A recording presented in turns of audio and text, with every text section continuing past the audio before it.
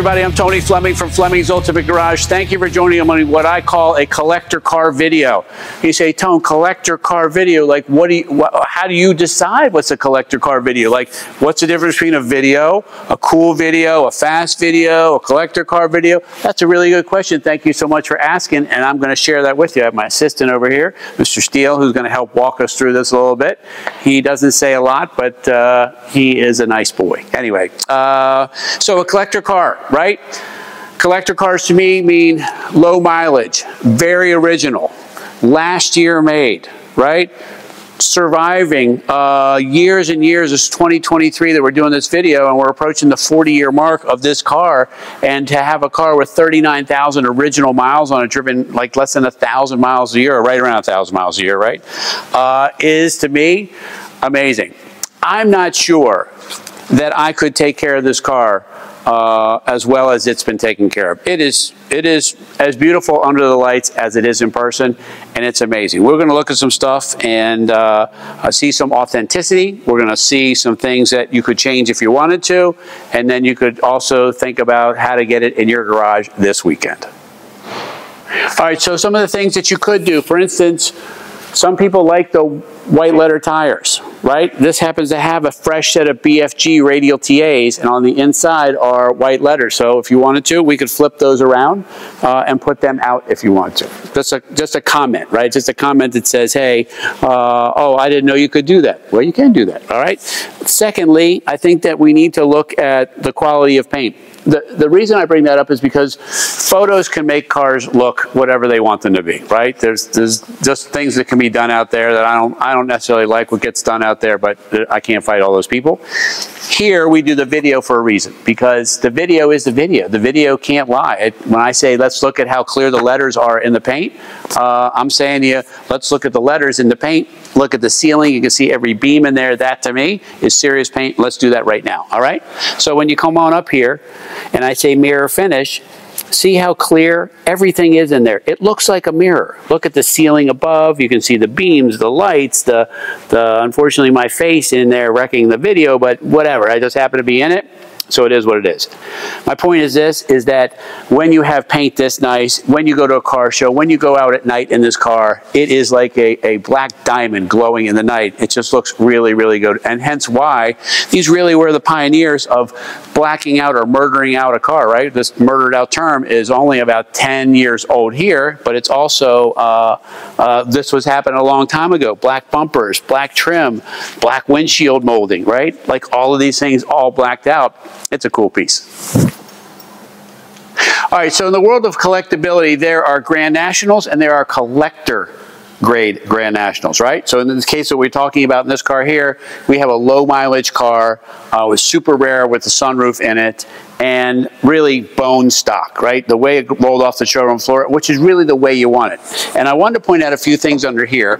You may not care to go to a car show uh, and do this, but for instance, like a lot of the original decals and stickers and things like that are still here uh, approaching 40 years later, which is amazing that uh, we're doing this video in 2023 and we're getting so close.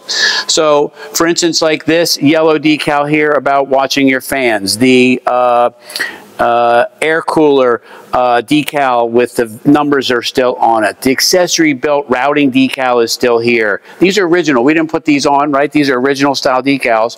The barcode scanner for the uh, master cylinder is still there. The original dipstick, oil filler tubes, like all of this little stuff, you may not see as a big deal, but for me, I'm a history guy. I love the idea of this. The hood light is unplugged because the person liked to show this off and the light would go on and would kill the battery. So that's uh, one of the reasons they do that so that they can go to a car show, leave it open for hours and hours and not worry about that.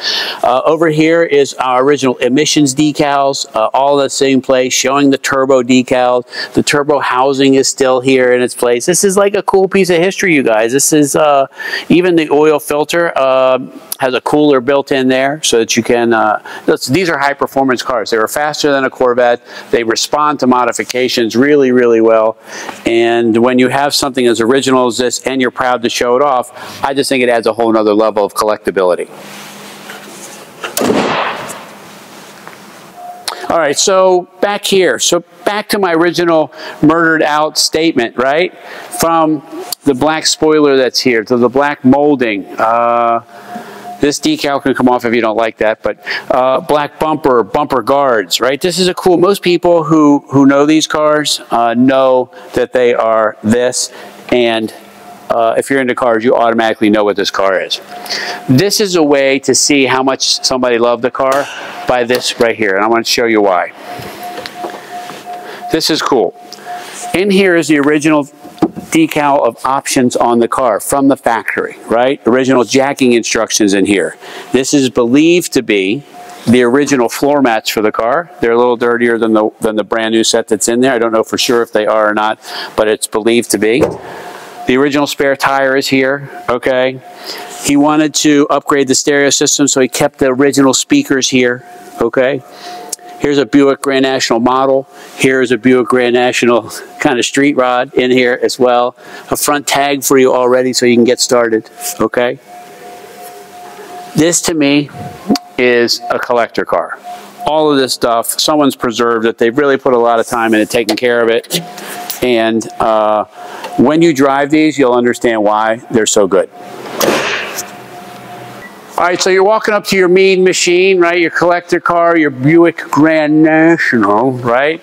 Uh, with the call outs on the hood. I gotta tell you what, man, if you like cars at all, everybody knows what this car is because it's legendary. And I'll tell you why it's legendary, because it's a modern muscle car. You say, well, Tom, what's a modern muscle car mean? What does that mean?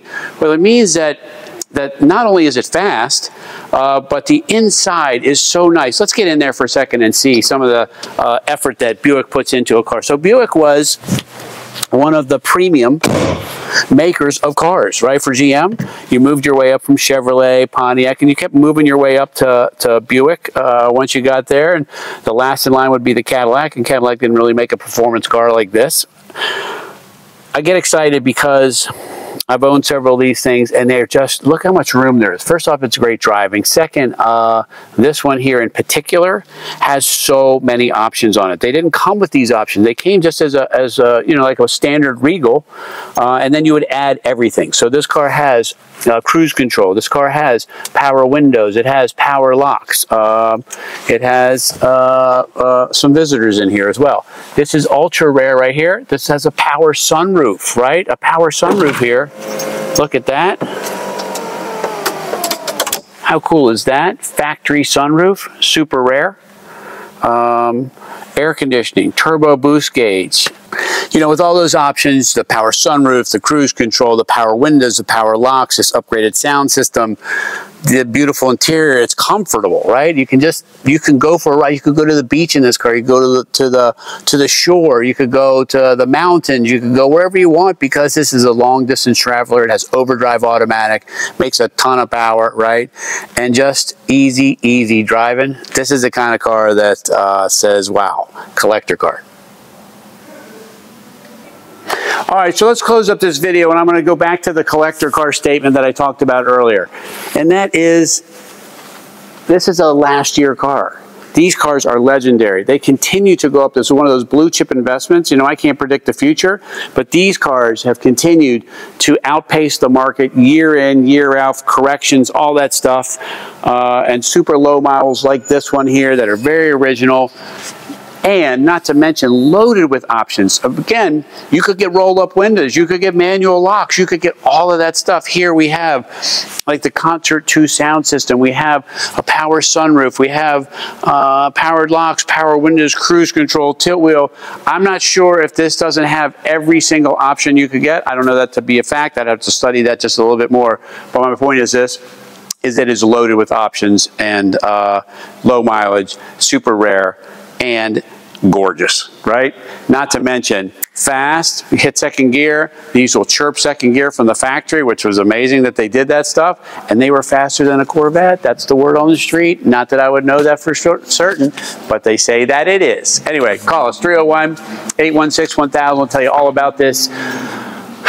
Amazing Grand National. It just is. If you've never driven one, man, you got to own one in your lifetime. You got to own one. And so now I just ask you to share uh, this with some friends. If you don't uh, mind doing that, hit the like button down below there too. It gets our message out. I appreciate when you do that. I really do. And subscribe to the channel. We get new stuff coming out all the time. And I'll see you on the next one.